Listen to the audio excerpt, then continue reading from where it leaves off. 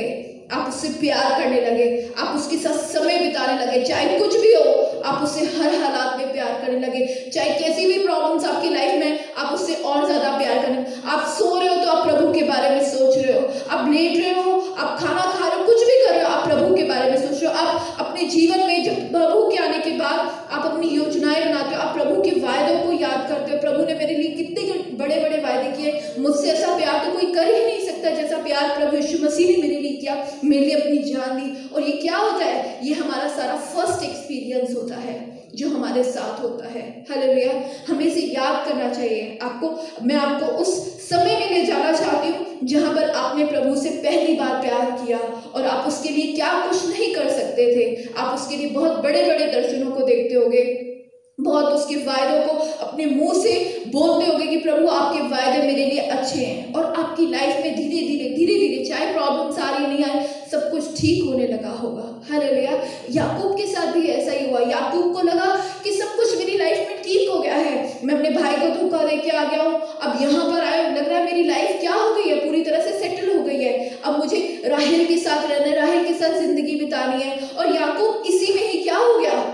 काम करने लगा। राहेल के लिए जो कुछ बन पड़ता होगा, वो लोगों की बातों को सुनता होगा। रात दिन धूप में रहकर, बारिश में रहकर, वो क्या करता होगा? अपने मामा लाबान की भेड़ बकरियों को क्या करता होगा? चराता होगा, उसका देखभाल करता होगा। रात दिन उठकर रात रात में जाता होगा और वो उसके लिए सब कुछ करने के लिए तैयार होता है। यही हमारे साथ होता है। हेलो भैया हम प्रभु से प्यार करते हैं। ये प्यार हमारा कैसा है? प्रभु के लिए सबसे अलग सा होता है। हम उससे सब कुछ इतना समय देते हैं, हमारा समय कब बीत जाता है, हमें समझ नहीं आता।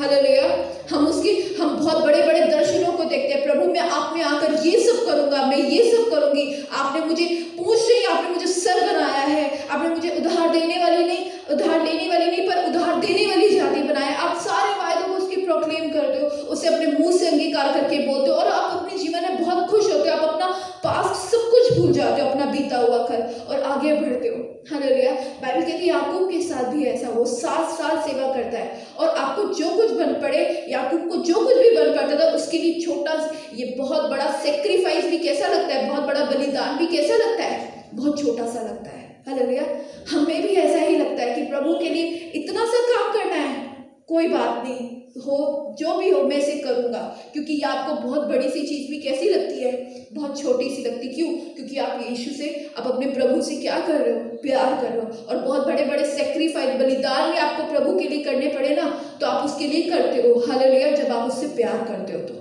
हालेलुया याकूब भी ऐसा ही करता था वो उसके लिए काम करता था मेहनत करता था बलिदान करता था कोई बात नहीं हालेलुया हम भी ऐसा करते हैं प्रॉपर दशमांश देते हैं भेंट देते हैं आराधना करते सच्चाई, सबसे प्यार करते हैं, उसे अपना पूरा समय देते हैं, रात दिन उसकी आराधना करते हैं। याकूब के साथ भी ऐसा था, पर जब सात साल बीत जाते हैं, जब वो राहेल के लिए मांग करता है कि आज सात साल पूरे हो चुके हैं तो बाइबल कहती है, उसका जब विवाह होता है तो याकूब क्या सोचता है कि उसका विवाह किससे हो रहा है, उसकी शादी किससे हो रही है?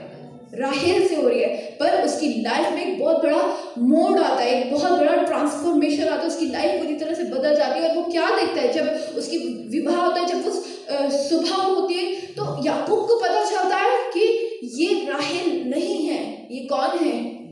लिया। हम सब जानते हैं इस कहानी को कि ये कौन है? लिया। और याकूब की पूरी लाइफ बदल जाती है। उसने जो बड़े बड़े दर्शन देखे होते हैं, उसने जो बड़े बड़े चीज़ें सोची होती है राहिल के साथ, उसने जो बड़े बड़े सपने देखे होते हैं राहिल के साथ, वो सारे क्या हो जाते हैं? पूरी तरह से टूट जाते हैं।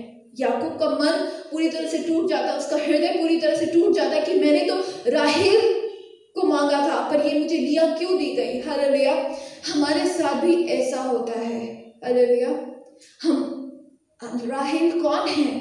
राहिल हमारा पहला प्यार है, जो प्रभु यीशु मसीह के लिए है। राहिल, वो दर्शन है जिसके पीछे हम भागते हैं। राहिल, वो हमारा मकसद है जिसके पीछे हम दौड़ते हैं। राहिल, हमारा वो समय है जो हम प्रभु को देते हैं। राहिल, हमारा वो सेक्रीफाइस है, वो बलिदान है जिसके लिए हमने सब कुछ कर दिया होता है। और हाँ बाइबल कहती है, उसके जीवन पे अचानक से क्या होता है? लिया आ जाती है। लिया कौन है? लिया वो नहीं थी जो परमेश्वर की इच्छा थी। हेलो लिया परमेश्वर की इच्छा कौन थी? राहिल थी। हेलो लिया पर याकूब के लिए। और उसके जीवन में कौन आ गई लिया। लिया बेस्ट नहीं है। सबसे बेस्ट कौन है? राहेल याकूब के लिए। हालेलुया लिया नहीं, लिया तो कैसे मिल गई उसे? आसानी से मिल गई, बिना कुछ मेहनत किए। हालेलुया पर याकूब जो राहिल थी, राहिल क्या है? प्रेशियस था, उसका कोई मोल था, उसकी कोई कॉस्ट थी, जिसके लिए उसको क्या करना पड़ा? सात साल पे करना पड़ा। हलो रिया और बाइबल कहती है कि हमारे जीवन में भी क्या होता है? जब हमारे जीवन में सब कुछ अच्छा चल रहा होता है, हम प्रभु से प्यार करते हैं, हमारा पहला प्यार प्रभु जो होता है, उसके लिए हम सब कुछ कर रहे होते हैं। अचानक कुछ समय बाद, याकूब के जीवन में तो सात साल बाद होगा हमारे जीवन में हो सकता है दो साल बाद, तीन साल बाद, दस साल बाद ऐसा होता है कि हमारे जीवन में भी कौन आ जाती है? लिया आ जाती है। लिया कौन है? लिया वो है जो परमेश्वर की इच्छा नहीं है आपके लिए। हेलो लिया पहले जब आपके जीवन में सब कुछ ठीक होता है, आप प्रभु से प्यार करते हो, उसके उसके, उसमें आकर बड़े बड़े दर्शनों को देखते हो, आप अपने वायदों को बोलते हो प्रभु के लिए और आप अपने समय को प्रभु को देते हो और क्या करते हो? एक दूसरे से वैसा प्यार करते हो, एक अपने रिलेशनशिप्स को सही करने की कोशिश करते हो और सब कुछ आपकी लाइफ में ठीक होता है। आप लोगों की बातों को सुनते हो और उसकी परवाह नहीं करते क्योंकि आप प्रभु से प्यार कर रहे होते हो। पर अचानक से क्या होता है? अचानक से जब लिया आ जाती है तो हमारी लाइफ बदल जाती है। और हम सबकी लाइफ में लिया आती है, चाहे कोई भी क्यों ना हो। आपके जीवन में चाहे आई हो, मैं तो यकीन करती सबकी लाइफ में आती है। लिया वो है जो परमेश्वर की इच्छा नहीं है, पर परमेश्वर उसे आने देता है। हेलो लिया जैसे याकूब की ज़िंदगी में आने दिया। हेलो रिया लिया कौन है? लिया वो जो आपके लिए अच्छा नहीं है बेस्ट नहीं है, अचानक से एक लिया के आ जाने से क्या होता है? आपकी सारी चीज़ें खराब होने लगती है। आप प्रभु से वो प्यार करना छोड़ देते हो, जो आप उससे पहले किया करते थे। हेलो लिया आप प्रभु को वो समय देना छोड़ देते हो, जो आप उसे दिया करते थे। आपका पहला प्यार, जो उसके लिए वो एक टाइम पर आकर ठंडा हो जाता है। आपके अंदर जो उसके लिए आग लग रही होती है। जो फायर आपके अंदर होता है, जो पैशन आपके अंदर होता है, उसके लिए कुछ करने का, वो क्या हो जाता है? एकदम से ठंडा पड़ जाता है। आपके ऊपर जो अभिषेक होता है, वो कैसा होता है? ठंडा हो जाता है। आग उसकी बुझ सी जाती है और आप अब प्रभु को पहला प्यार नहीं कर रहे होते। हले लिया ये कब होता है? लिया के आ जाने से। आपको अपने हृदय पे हाथ रख के देखना चाहिए, क्या सचमुच मैं अपने प्रभु से वैसा ही प्यार करती हूँ, जैसा मैं उससे पहले किया करती थी? क्या सचमुच मैं उसे वैसा समय देती हूँ जैसे मैं उसे एक टाइम पर आकर देती थी? अरे रिया, क्या सचमुच अब मैं प्रभु के लिए वो बड़े बड़े बलिदान करती हूँ जो मैं उसके लिए पहले किया करती थी? मुझे उसके लिए बड़े बड़े बलिदान भी इतने छोटे से जान पड़ते थे, पर अब इतने साल बीत गए, लिया के आ जाना से, आ जाने से अब बड़े बड़े बलिदान मुझे कैसे दिखाई दे रहे? बहुत पहाड़ जैसे दिखाई दे रहे और मैं प्रभु के लिए उस सबको नहीं कर पा रही ऐसा हम सबके साथ होता है, चाहे आप है, चाहे मैं हूँ। लिया ये हमारी ज़िंदगी में होता है। और ये कैसे होता है? लिया कह जाने लिया, याकूब, उस समय कैसा था? बहुत पूरी तरह से टूट गया था कि मेरे साथ क्या हो गया? मैंने राहल मांगी थी, लिया मेरी ज़िंदगी में आ गई। और जब वो अपने मामा के पास जाता है, मामा से कहते हैं, आपने मेरे साथ ऐसा क्यों किया? क्यों आपने मुझे ऐसा मेरे साथ होने दिया? क्योंकि याकूब नहीं चाहता था कि ये परमेश्वर ही है जिस, जिसने उसके जीवन में लिया को आने दिया। या लाबान कहता है, हमारे यहाँ तो पहले बड़ी बेटी की शादी होती है, उसके बाद छोटी की होती है। तो वो क्या कहता है? कहता है तो अगर तुझे राहेल चाहिए तो उसके लिए साथ साथ तुझे और मेहनत करनी पड़ेगी। बाइबल कहती है, याकूब फिर से उसके मन में सौ सवाल चल रहे होंगे कि मैंने अभी सात साल उसके लिए मेहनत की, क्या सात साल में और मेहनत करूँ? हेलो पर बाइबल कहती है, यहाँ पर याकूब समझौता नहीं करता कॉम्प्रोमाइज नहीं करता। हेलो भैया याकूब क्या कहता है? याकूब चाहता तो कॉम्प्रोमाइज कर सकता था, समझौता कर सकता था, कोई बात नहीं। मुझे लिया मिल गई, मैं इसके साथ अपनी लाइफ को बिताऊँगा। पर याकूब ये बात जानता था कि राहेल मेरी पसंद है, मुझे वही चाहिए। ये परमेश्वर की इच्छा है, ये सबसे बेस्ट है, ये सबसे अच्छी है। इसके लिए मैं कोई भी कीमत अदा करूँगा। और लाबान कहता है, बता, तू उसके लिए क्या पे करेगा तो कहता है, सात साल में उसके लिए तू पे कर पाएगा, उसके लिए फिर से भर पाएगा। याकूब कहता है, ज़रूर, मैं निश्चय भरूँगा राहेल के लिए। हालेलुया कहती लिया के हमारे जीवन में आ जाने से, हमारी लाइफ पूरी तरह से हिल रही होती है अब हम पहले जैसे नहीं रहते। हमारा प्यार प्रभु के लिए ठंडा हो जाता है, हमारी आग प्रभु के लिए बुझ जाती है, हमारे बड़े बड़े दर्शन फीके पड़ जाते हैं, हमारे आपसी संबंध जो होते हैं प्रभु के लोगों के साथ, प्रभु के साथ जैसा हम प्यार करें, वो सब पूरी तरह से बिगड़ जाते हैं। किसके आ जाने से? लिया के आ जाने से। हरे लिया क्योंकि लिया आपकी लाइफ में आ गई। और बाइबल कहती है, याकूब ने लिया के आ जाने से समझौता नहीं किया। हम सब भी क्या होते हैं? हम सब सोच रहे होते हैं, शायद परमेश्वर की इच्छा मेरे लिए यही है चाहे आज जिस हालात में आप हैं, चाहे आप अपने आप को सोचें, परमेश्वर ने ये बहुत बड़े बड़े वायदों को मेरी ज़िंदगी में पूरा नहीं किया, ये दर्शन जो मैंने देखे थे, पूरा नहीं किया। परमेश्वर के लिए जो मेरा पहला प्यार था, ये भुज सा गया, शायद परमेश्वर मुझसे यही चाहता है, मैं उससे इतना दूर हो गई हूँ, शायद परमेश्वर यही चाहता है, परमेश्वर ने मुझे इस मोड़ पे लाकर खड़ा कर दिया।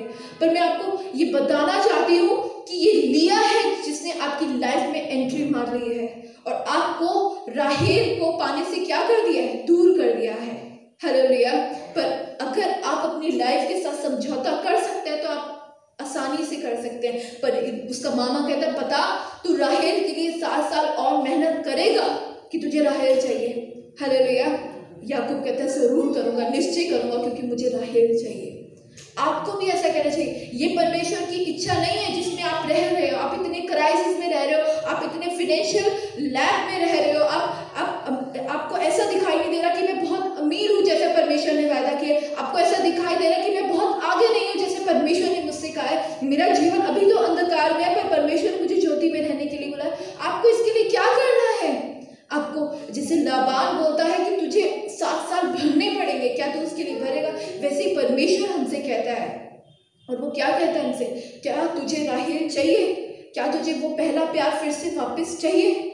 क्या तुझे वो फिर से दर्शन को पूरा होते हुए देखना, फिर से वो आग तुझे चाहिए? आपको कॉम्प्रोमाइज नहीं करना, प्रभु कहेगा, आपको उसके लिए क्या करनी है? फिर से कीमत को अदा करनी है, जो आपने पहले रह कर की हालेलुया हमारी लाइफ में ऐसे लोग आते हैं जो हमारे अंदर परमेश्वर के प्यार को ठंडा करते हैं। हमारे लाइफ में ऐसे लोग आते हैं जो हमारे आपसी प्रेम को पूरी तरह से खराब करते हैं। हमारी लाइफ में ऐसी डीमंस आती है जो हमारी आपसी हमारे प्यार को जो प्रभु के लिए ठंडा कर देते हैं हमें इसे देखना चाहिए और इसे समझना चाहिए कि ये परमेश्वर की योजना नहीं है। परमेश्वर ने मुझे ऐसा रहने के लिए नहीं बुलाया। परमेश्वर ने तो मुझे आगे रहने के लिए बुलाया। राहेल क्या है? राहेल, वो पहला प्यार है आपका प्रभु के लिए। राहेल क्या है? वो फायर है जो आपके प्रभु के लिए। राहेल क्या है? वो पैशन है आपका जो प्रभु के लिए है। राहेल क्या है? वो प्यार है जो आपका एक दूसरे के साथ है, प्रभु के लोगों के साथ है। इसे आपको लूज नहीं करना। ये कब लूज होता है? ये कब खत्म होता है? जब लिया आ जाती है।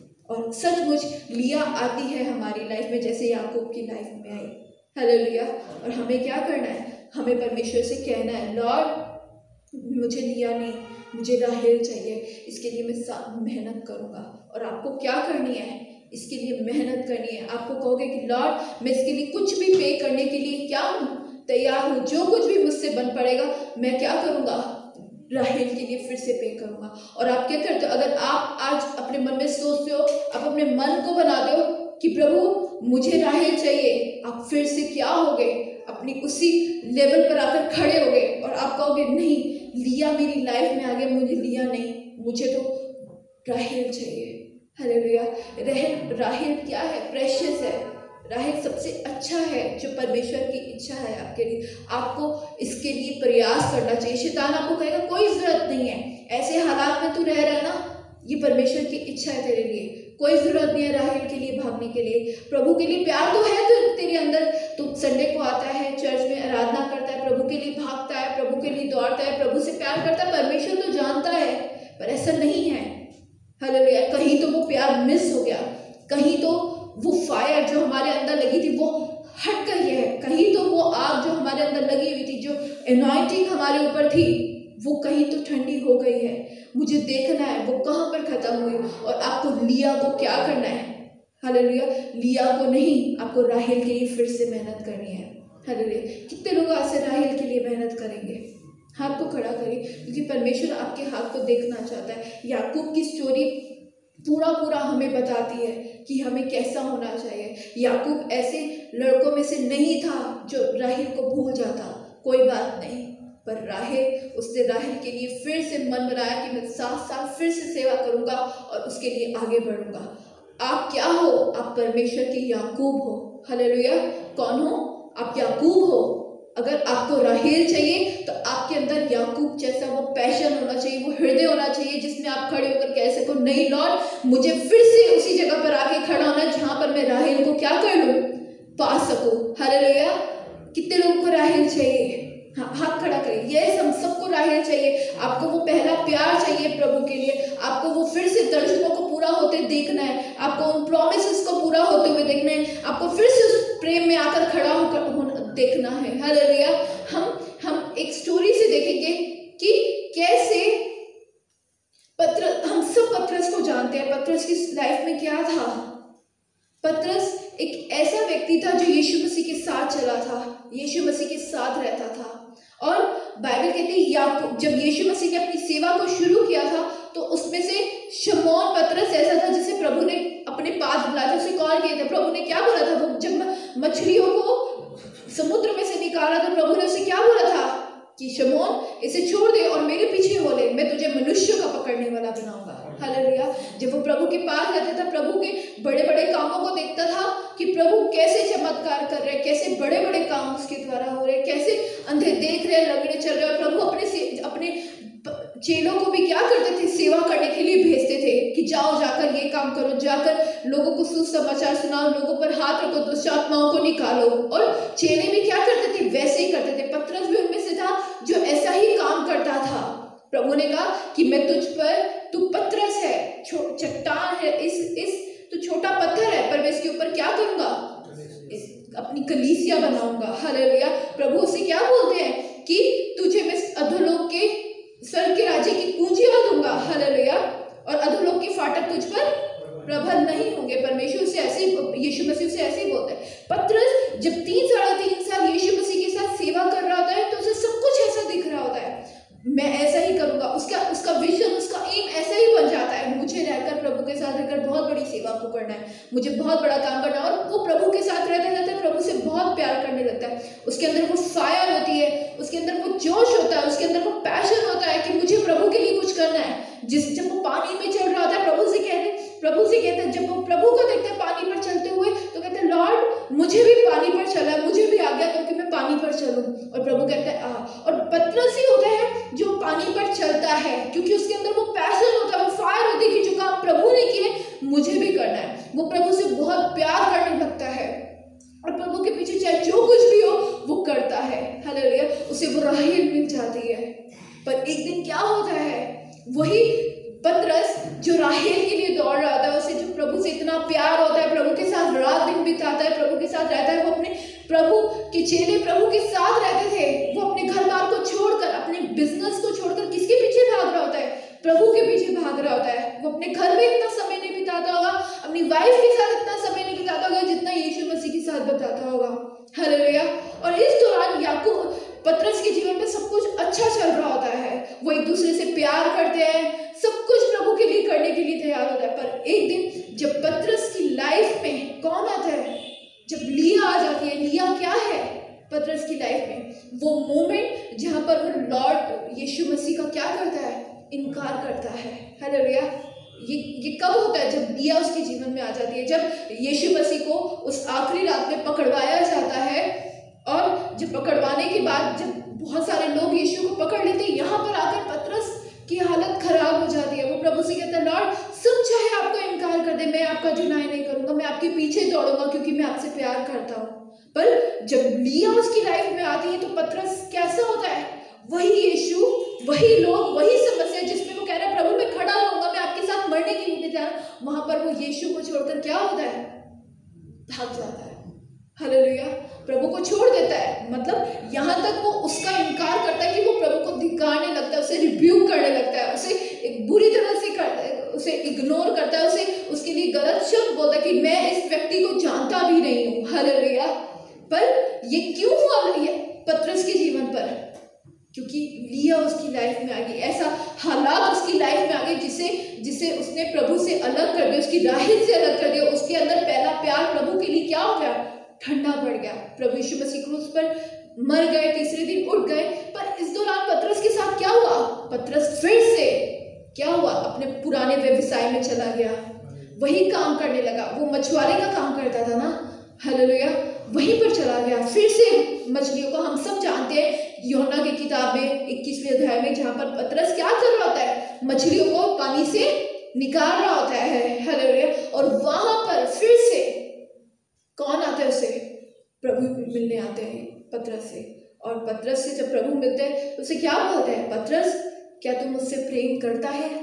पत्रस कहता है हाँ लॉर्ड। मैं आपसे प्यार करता हूँ, प्रभु ने कहा, जा, मेरी भेड़ों को चरा।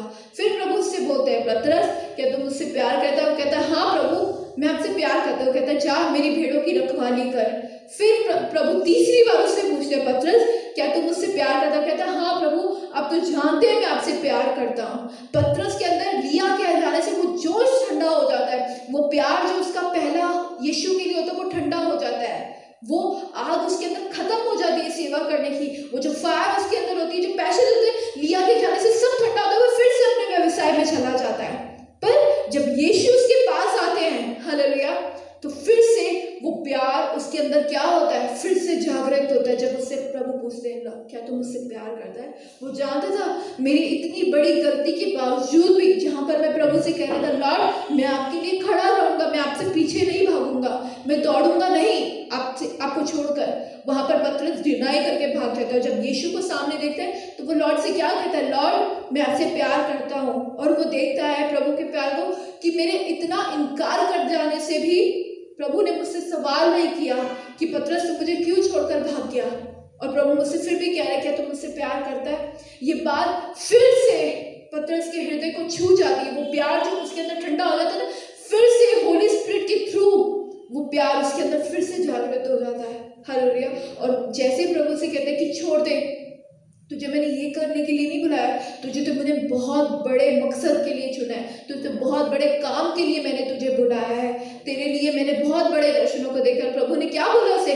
कि जब तू जवान था तो जहाँ पर तेरा मन करता था, वहाँ पर तू चला करता था। पर जब तू बूढ़ा होगा ना, जहाँ पर तू लोग तुझे नहीं जाएँगे, तुझे वहीं पर घसीट कर लेके जाएँगे। ये क्या था? पत्रस का प्राइस था, जो उसे राहेल के लिए फिर से पे करना था, उसे भरना था।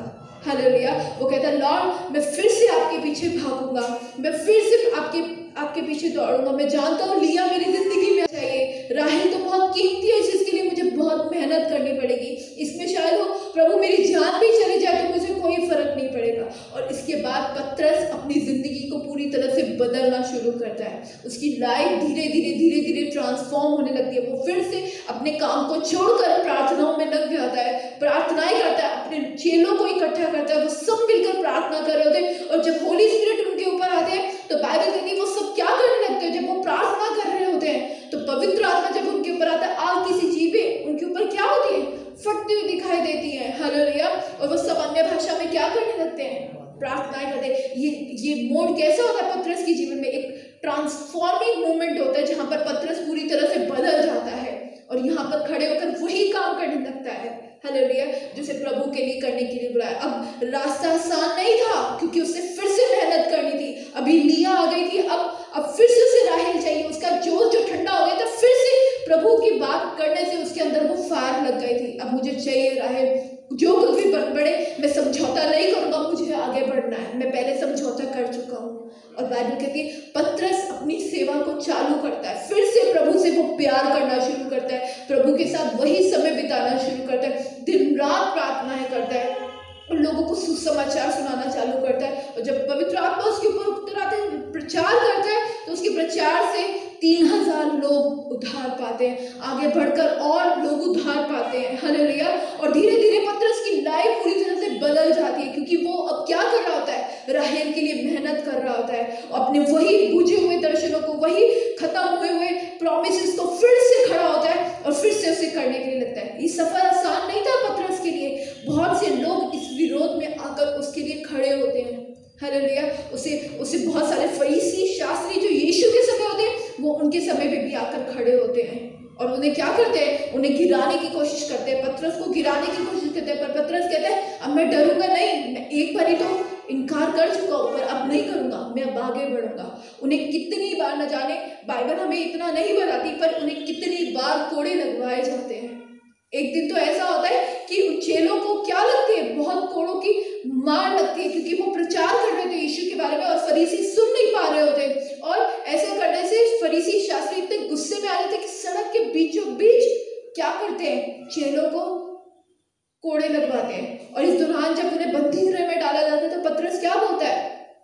लॉर्ड, मैं आपका थैंक्स करता हूँ कि मैं आपके लिए इतना तो कर पाया कि आपके लिए मैं ऐसी मार खा सकूँ। हालेलुया क्योंकि अब पत्रस का हृदय बदल रहा था। अब वो उन हालातों से, उन चैलेंजेस से, उन चुनौतियों से डर नहीं रहा था। वो कहता, लॉर्ड, मैं आपका धन्यवाद करता हूँ कि आपके लिए मुझे इतनी मार खानी पड़ रही है। मैं तो इस योग्य भी नहीं था। जो काम तूने मेरे लिए किया, वो तो बहुत बड़ा है। जिसके आगे ये बलिदान जो मुझे देना पड़ रहा है ना, बहुत छोटा सा है। क्यों? क्योंकि अब वो राहेल के लिए भाग रहा है। अब उसे फिर से यीशु के लिए मेहनत करनी इसीलिए वो बहुत बड़ा बलिदान भी उसे कैसा लग रहा है? वो कोड़ों की मार भी उसे बहुत छोटी सी लग रही है रहे, कोई बात नहीं, लॉर्ड, ये भी खा लूँगा। और न जाने कितनी बार उन्हें पत्रस को क्या लगे होंगे। हालेलुया, वो मार लगी होगी, वो कोड़े लगे होंगे, उसे लोगों की बातें सुननी पड़ी होंगी, पर वो रुकता नहीं है, फिर से प्रभु के प्रचार को करता है, आगे बढ़ता है। जो वायदे प्रभु ने उसे दिखाए थे, उसे फिर से अपने दर्शन याद होते हैं। प्रभु ने मुझे मछली पकड़ने के लिए नहीं, मुझे तो मनुष्यों को पकड़ने के लिए बनाया मैं फिर से प्रचार करूँगा और एक खींचूँगा। और उसके प्रचार से सच कुछ लोग बचाए जाते हैं। अब वो आगे बढ़ रहा होता है। कितने बार बंदी गृह में उसे डाला जाता है, पर वो फिर भी नहीं आता क्योंकि उसे राहेल चाहिए। और राहेल तो ऐसी प्रेशियस चीज़, ऐसी कीमती चीज़ है जिसके लिए तो प्राइस तो पे करना ये कीमत तो अदा करनी ही पड़ेगी। हालेलुया और पत्रस उसे करने के लिए इनकार इनकार नहीं करता। अब पत्रस की अगर, अब देखो ना, बहुत सारे चेलो, जब हम देखते हैं पॉलुस ने जितनी भी पत्रियाँ लिखी, जितनी भी लोगों ने लिखी, पत्रस ने भी लिखी, ये सब कहाँ लिखी? ये उन्होंने बंदी गृह में लेकर ही लिखी होगी। वो कहता मैं तो जंजीरों पॉलिस कहता मैं तो जंजीरों में झगड़ा हुआ, उसका क्या हूँ? उसका तो राजदूत हूँ। हालेलुया। पत्रस ने जब इस पत्रियों को लिखा होगा, पत्रस की पत्री को जब हम पढ़ते तो उसने बहुत मज़े से राजमहल में बैठकर, बहुत बड़े बेड पर बैठ के ये पत्रियों को नहीं लिखा होगा, ये उन दुखों में रहकर उन पत्रियों को लिखा होगा, जो उस पर बीत रहा था, जो वो राहिल को पाने के लिए कीमत अदा कर रहा था ना, ये पत्रियाँ जब पत्रस ने लिखी तो उसी में रहकर लिखी होगी। हालेलुया। बहुत दुख में था। जब वो बूढ़ा होगा ना प्रभु कहते हैं जब तू बूढ़ा होगा तो जहाँ तू नहीं जाएगा ना, लोग तुझे वहीं लेकर जाएँगे।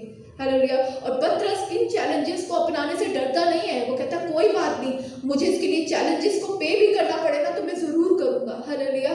तो उसने जो पत्रियाँ लिखी ना, जो पत्रस की हम पढ़ते हैं तो उसने बहुत दुखों में रहकर लिखी। जो सताव उसके ऊपर आ रहे थे ना, उसके बीच में भी लिखी। और उन सबके बीच में जब आप इनकी पत्रियों को पढ़ते हैं चाहे पत्रस है चाहे कोई भी है वो प्रभु का धन्यवाद करना नहीं छोड़ रहे वो प्रभु के आगे गिड़गिड़ाना नहीं छोड़ रहे वो प्रभु से प्रार्थनाएँ करनी नहीं छोड़ रहे वो प्रभु की स्तुति करना नहीं छोड़ रहे क्योंकि उन्होंने जाना है कि राहेल का महत्व क्या है।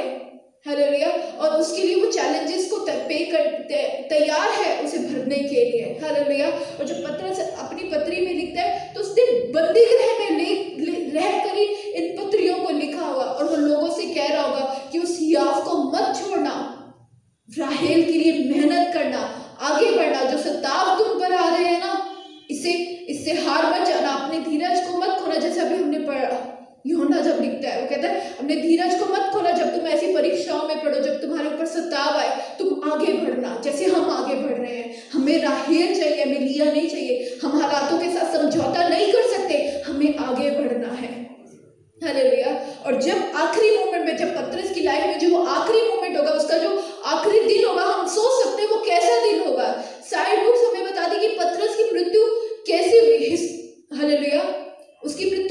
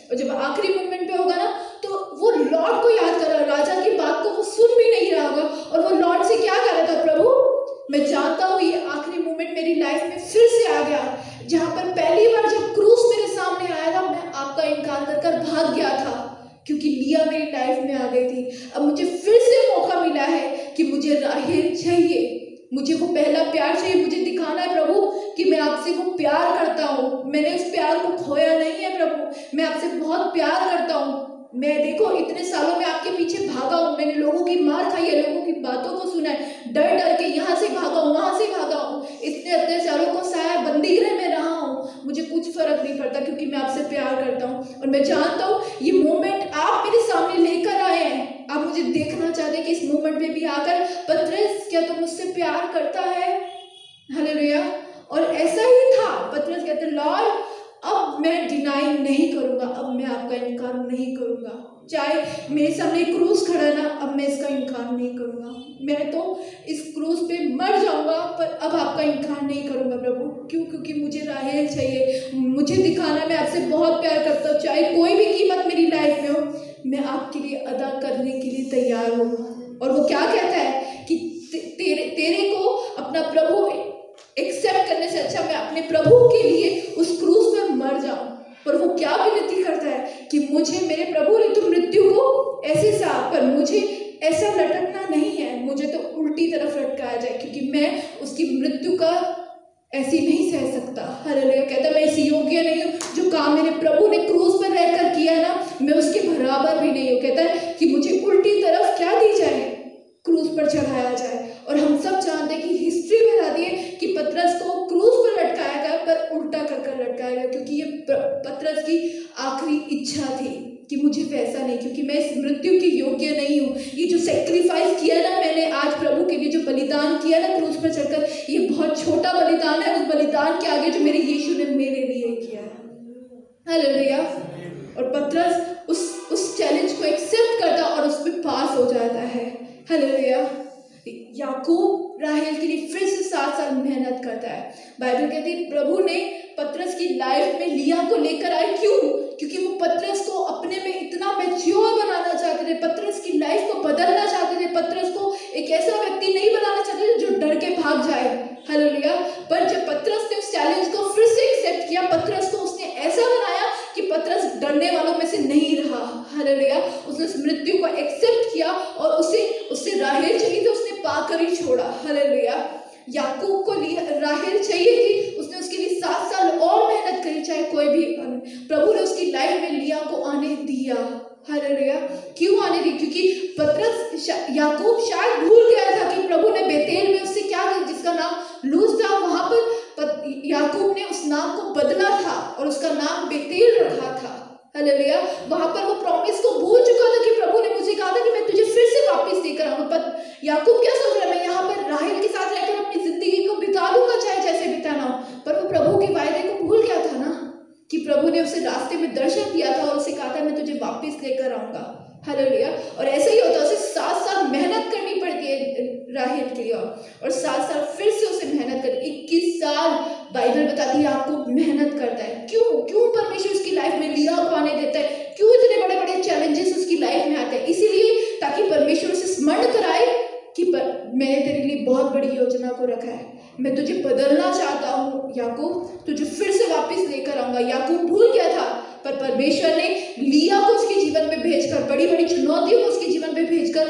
उसे याद दिलाया कि तुझे मेरी ज़रूरत है मैं तुझे बदलना चाहता हूँ हालेलुया तुझे राहिल के लिए कीमत अदा करनी है। और बाइबल कहती है एक मोमेंट याकूब के जीवन पे ऐसा है जहाँ पर वो पूरी तरह से ट्रांसफॉर्म हो जाता है। एक रात जब उसे लगता है, मेरा भाई आ रहा है, मुझे मारने, उससे उस टाइम पर लॉर्ड की सबसे ज़्यादा ज़रूरत होती है। और वहाँ पर वो सारी रात प्रार्थना करता है लॉर्ड से कहता है, लॉर्ड, मुझे आपकी ज़रूरत है, मुझे बदल दो। मुझे आपकी ज़रूरत है, मुझे ब्लेस कर दो। मैं आपको नहीं जाने दूँगा जब तक आप मुझे ब्लेस नहीं करोगे। और लॉर्ड इसी मोमेंट का क्या करते थे? वेट कर रहे थे कि कब याकूब आएगा और मैं इसे यहाँ पर बदलूँगा। और उसके नाम को क्या करता है परमेश्वर? वहाँ पर बदल देते हैं हालेलुया और उसे फिर से वापस लेकर जाते हैं। उसी जगह पर जहाँ पर वो अपने भाई को धोखा देकर आता है। हालेलुया और जब वो वहाँ पर वापस जाता है तो याकूब पूरी तरह से बदला हुआ होता है। हालेलुया क्योंकि वो अपने चैलेंजेस को, राहल के लिए जो वो मेहनत करता है, जो उसे कीमत अदा करनी थी वो उसे पे कर कर आ जाता है। हालेलुया आपको राहल चाहिए या नहीं चाहिए? यस हमें राय चाहिए। इसके लिए हमें मेहनत करनी है जैसे याकूब ने की। हमें मेहनत करनी है जैसे पतरस ने की। हालेलुया आमेन आइए हम सब लोग खड़े होंगे।